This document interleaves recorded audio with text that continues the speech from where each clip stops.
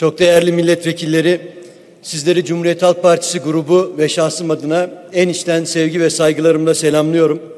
Dün yitirdiğimiz şehitlerimize Allah'tan rahmet, ailelerine ve tüm ulusumuza başsağlığı diliyorum. Sayın milletvekilleri sözlerime bütçe kanunun teklifinin mali kontrole ilişkin e, hükümlerini düzenleyen 8. maddenin ikinci fıkrasında belirtilen ve şu ana kadar da çok dikkat çekilmeyen T cetvelinde yer alan araçlarla ve bu araçların alımına dikkat çekerek başlamak istiyorum. Sayın milletvekilleri T cetvelinde 2024 yılı içerisinde tam 3058 adet aracın alımına yönelik bilgilere yer verilmiştir. Bu araçlardan 3031 tanesi bakanlıklar, bağlı kurum, kuruluş ve düzenleyici denetleyici kurulum, kuruluşlara ait iken 27 tanesi de üniversiteler tarafından talep edilmiştir. Bu taşıtların 21 tanesinin 4458 ve 5607 sayılı kanun çerçevesinde 54 adedinin döner sermaye aracılığıyla 469'unun hibe yoluyla 2514 adetinin ise merkezi yönetim e, bütçesinden karşılanacağı anlaşılmaktadır. Cinslerine göre dağılımına girdiğimizde dikkat çeken iki unsuru burada e, sunmak istiyorum. Bu araçlardan 597 tanesi binek araç, 544 tanesi ise cinsi ve fiyatı Maliye ve Hazine Bakanlığı'nca tarafından belirlenecek taşıtlardan oluştuğu ifade edilmiştir. Cumhuriyet Halk Partisi grubu olarak içinde bulunduğumuz ağır ekonomik koşullar dikkate alınarak tasarruf önlemleri kap kapsamında cetvelde yer alan hükme de uygun olarak çok acil ve zorunlu olmadıkça taşıt alımı yapılmaması gerektiğini bir kez daha vurgulayarak e, dikkatlerinize sunuyoruz. Öte yandan cetvelde yer alan 3058 taşıtın 469'unun hibe yoluyla elde edileceği ifade edilmişse de bu hibelerin kimler tarafından nasıl hangi kriterler ölçüsünde sağlanacağına ilişkin e, cetvelde herhangi bir bilgiye yer verilmemiştir. Bu belirsizliğin de ortadan kaldırılarak bu konuda meclise bilgi verilmesini talep etmekteyiz. Sayın milletvekilleri haftaları bulan görüşmeler ve binlerce sayfayı bulan raporlar eşliğinde çok büyük büyük tutarlardan oluşan 2024 yılı bütçesini ve 2022 yılı kesin hesaplarını görüşüyoruz. Bu görüşmelerde dikkat çeken bir unsuru sizlerle paylaşmak istiyorum. İktidarın bakanları ve sözcüleri sanki 14-28 Mayıs'ta yapılan seçimlerle ilk defa kabine oluşturmuş, ilk defa hükümete gelmiş gibi değişik veri, yorum ve analizlere yer verirken diğer yandan sanki görüştüğümüz hususlar önceki yılların faaliyet raporuymuş gibi 2002 yılından başlayarak bugüne ulaştırılan değerlendirmelere yer verilmektedir. Kendi iç, içinde çelişen bu yaklaşımı doğru bulmadığımızı ifade etmek istiyorum.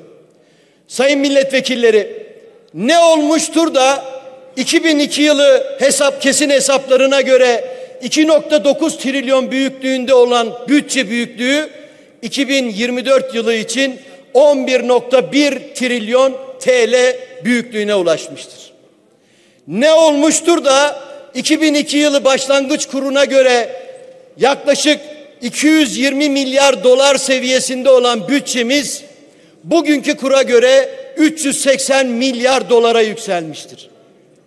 Ne olmuştur da döviz kuru üzerinden bütçe büyüklüğü son iki yılda yüzde 74 oranında artarken Türk lirası cinsinden tam iki yılda yüzde 277 büyüklüğüne ulaşmıştır. Ve ne olmuştur da kabul edilen bütçelerin yetmediği ek bütçelere ihtiyaç duyulan bugünlere gelinmiş Türk lirasında çok büyük değer kaybına ulaşılmıştır. Bunu hep birlikte değer, e, sorgulamak ve sonuçlarında da sorumlusunu ilan etmek durumundayız. Sevgili milletvekilleri, her şey ben ekonomistim, ekonominin kitabını yazdım. Nas varken sana bana ne oluyor? Faiz sebep, enflasyon neticedir söylemleriyle başlayan e, başladı ve başımıza ne geldiyse neoklasik ekonomik düşüncesinden epistemolojik kopuşla ortodoks politikalarınızdan vazgeçip heterodoks yaklaşımlarla uyguladığınız davranışsal ekonomi ve neroekonomik politikalar yüzünden geldi. Bundan tam iki yıl önce gözlerimdeki ışıltıya bakın dediniz. Bugün milyonlarca insanımızın gözlerinin ferini söndürdünüz. Bir uyuyun, altı ay sonra uyanın, Türkiye'de çok şey fark, farklı yerlere geleceğiz dediniz. Bugün o sözün üzerinden tam tam dört tane altı ay geçti. Derin koma haline girdik. O derin komadan ne yazık ki çıkamıyoruz. Sonra aynı iktidar bakan ve politika değişikliğine giderek bu kez de önceki dönemde uygulanan politikaları sanki aynı iktidarın politikaları değilmiş gibi irrasyonel yani akıl dışı ilan ederek Türkiye'nin rasyonel ekonomi politikalarına dönmekten başka çaresi olmadığını ifade etti. Hatta itiraf etti. Ama bu arada ne oldu? Sizler ortodoks, heterodoks derken, rasyonel, irrasyonel politikalardan söz ederken olan milyonlarca insanımıza daha fazla yokluk, daha fazla yoksulluk ve daha fazla yoksunluk olarak yansıdı. Altta kalanın canı çıktı ve ülkemiz bu noktaya savruldu. Peki bu yaşadıklarımızın sorumlusu kim? Hiç akıldan çıkarılmamalıdır ki bakanlar ve uygulanan politikalar değişse de yaşadığımız bu olan bitenin sorumlusu 21 yıldır ülkemizi kesintisiz ve tek başına yöneten AKP iktidarı ve onların ortaklarıdır. Hem de bütün dertlerin dermanı olarak gösterdiğiniz, öve öve bitiremediğiniz, ülkemizi ve yurttaşlarımızı uçuracağını ifade ettiğiniz ucube Cumhuriyet e, Cumhurbaşkanlığı hükümet sistemiyle. Sevgili milletvekilleri, bu elimdeki kitap AKP'nin 2011 yılında yayınladığı bir kitap ve bu kitabın içerisinde o güne değin yapılmış olanlar anlatılırken bir yandan da 2023 yılına ilişkin hedeflerinde yer aldığı bu kitap. Ve bu kitapta AKP Genel Başkanı Sayın Erdoğan hayaldi gerçek oldu diyerek çıraklık kalfalık döneminden ustalık dönemine evrildiklerini ve Türkiye'yi 2023'te dünyanın en büyük ekonomilerinden biri haline getirdiğini ifade etmişti. Ama ne yazık ki bugün karşılaştığımız gerçek bu değil. Siz bu kitapta dünyanın 16. büyük ekonomisiyiz ve 10. büyük ekonomi olacağız dediniz. Bugün 19.yüz. Kişi başına milli geliri 10 bin dolara getirdik. Hedefimiz 2023'te 25 bin dolar dediniz. IMF'nin 2002 raporuna göre 10.618 dolarda kaldık. Borçlu değil büyüyen ekonomi dediniz. Büyük büyük borçlarımıza ve o borçların yetmezliğine bakarak önümüz dönemde daha büyük borçlara ihtiyacımızın olduğu çok ortaya e, çok açık bir şekilde ortaya çıktı. Paradan altı sıfır attık dediniz. Çaktırmadan sıfırın birini geri getirdiniz.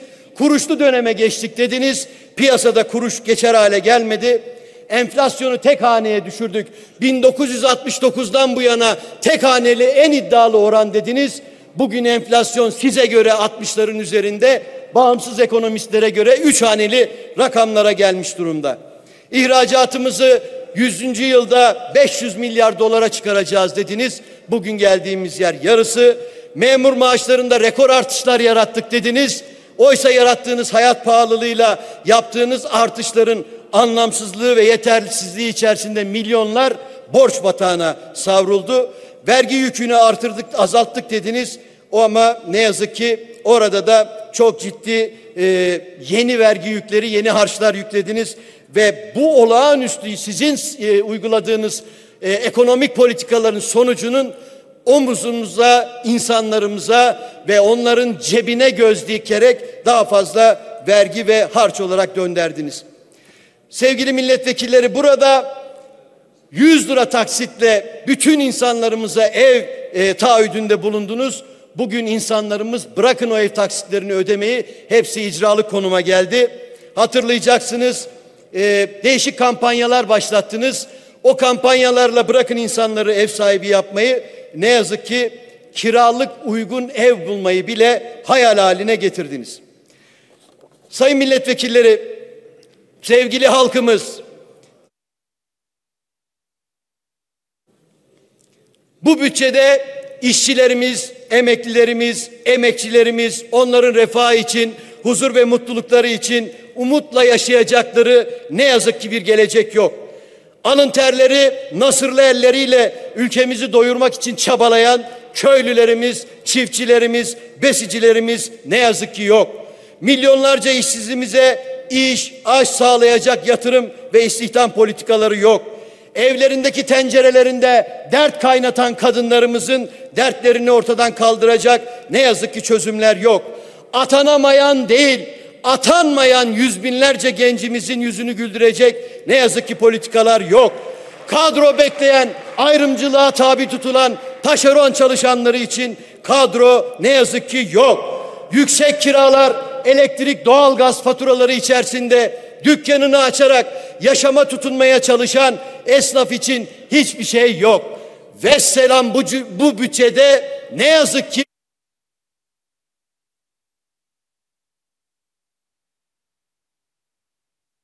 fazla faiz ve borç var.